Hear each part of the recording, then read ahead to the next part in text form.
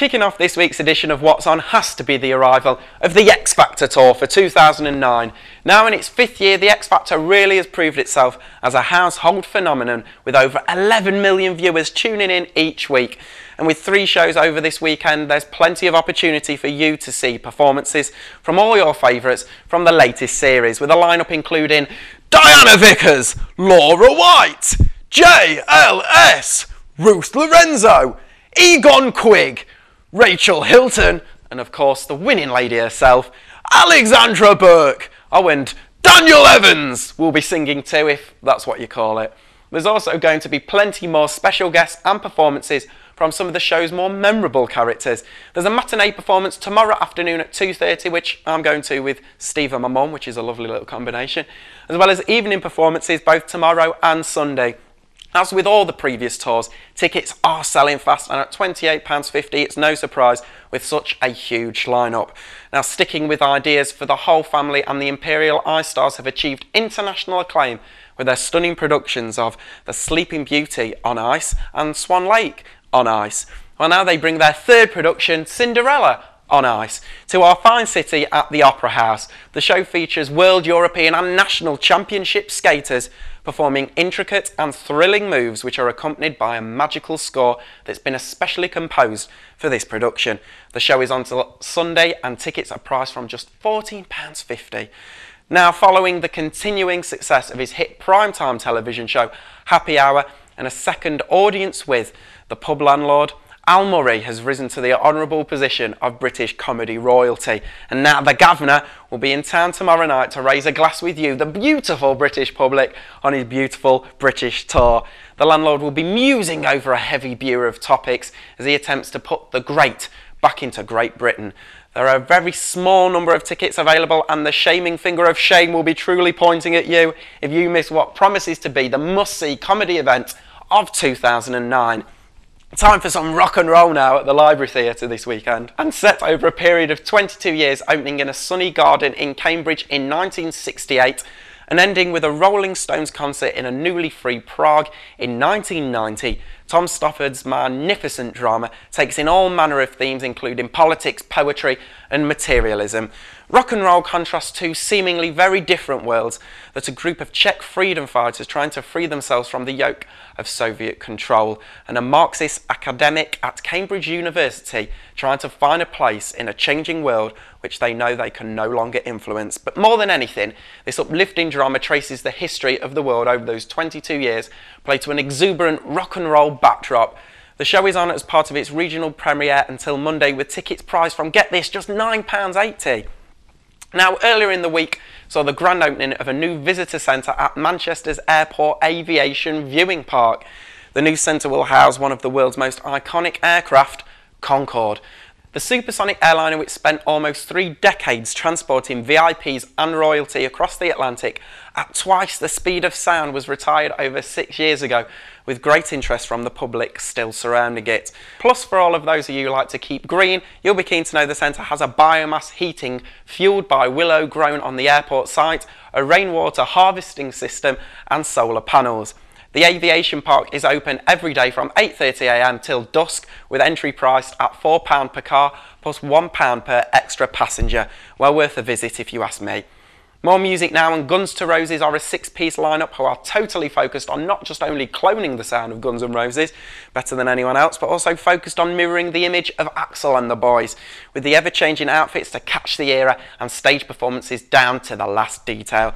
They claim to be the only tribute band approved by one of the original members of Guns N' Roses, and tomorrow night they will be performing live from 9pm at the trendy Ruby Lounge right here in the city centre. The band will be playing many songs from Appetite for Destruction, GNR Lies, Use Your Illusion 1 and 2, Spaghetti Incident, and even tracks from Chinese Democracy. Lovely album names there. Entry costs just £8.50, and the guys promise that if you've seen them perform before, you're in for a totally different show tomorrow. Intriguing.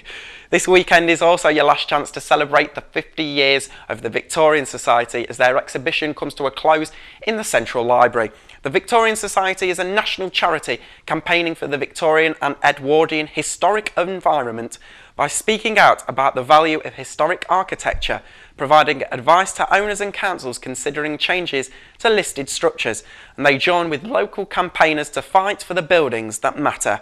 The exhibition, which has been created by noted architectural historian and author Gavin Stamp, is comprised of photos from the Manchester region that showcase the best Victorian and Edwardian buildings and structures that the Society has campaigned to save for the nation. They demonstrate the Society's success in changing public attitudes towards the best architecture of the 19th century and the continued relevance and use of this for the 21st century. Now, if you're looking for something to keep the kids happily entertained on Sunday, then why not pop down to the Lowry Theatre in Salford Quays for Barmoo, Yellow Dog? Where are you when sheep moo like cows, pigs have wings, and a horse lives in an apple tree? Jethro's mind? Or maybe Ash's colourful imaginary world, a world where things are not what they first seem. Join Ash as he looks in holes, turn corners, hops, skips and jumps over cracks, and who knows, you might even see a yellow dog. It's a play with oodles of imagination that is also uniquely performed in an integrated British Sign Language. Suitable for ages 2 to 5, tickets are priced at £8.50 with two showings, one at midday and the second at 3pm. And finally, it says on my auto cue, time for my pick at the flicks, but this definitely isn't. But it is hitting the big screen this week. It's the story of Lucy Hill, an ambitious up and coming executive living in Miami. She loves her shoes, she loves her cars, and she loves climbing the corporate ladder. So when she's offered a temporary assignment in the middle of nowhere, she jumps at the opportunity, knowing that a big promotion is close at hand. What begins as a straightforward job assignment becomes a life changing experience as Lucy discovers greater meaning in her life, and most unexpectedly, the man of her dreams. The plant's losing money. Who's going to handle this? I can do it. Joan, book Lucy to Minnesota this weekend. Minnesota? What is that? We call that snow deer. How bad can it be? Holy motherfucker! When her company needed to reorganize, Lucy was right for the job. Management at Munck Foods has sent me here to usher in a new phase. if you have a problem with me, you should just come out with it. Okay? She seems nice enough. I doubt she'll last a week, poor thing. But around here, It's official. The lake's frozen up to drive on. no way. Yes, way. they do things differently. This is where you'll be staying. Want me to go over the fireplace? I'm a city girl, but I know how to light a fire. Where's the uh, the switch? Oh, I'm stranded in this frozen wasteland. There's someone that I want you to meet. This is Ted Mitchell. Ted, you live around here? Yeah, I moved up here 10 years ago. Why? Excuse me? Oh dear. trying to set me up. I will not get personally attached to this town or anybody in it. She may not be where she expected, What the hell? You know, you're not so bad when you're unconscious. But she's warming up to the possibilities. I'll need to be carried by some sexy man. You think I'm sexy, huh? What? Okay. Yeah.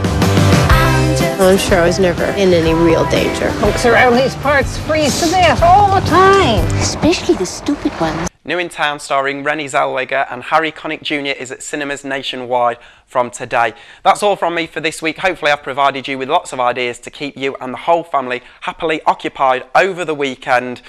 If I was going to pick, I'd pick The X Factor. I'll be back with more things to see and do next Friday at the same time. And then a hero comes along.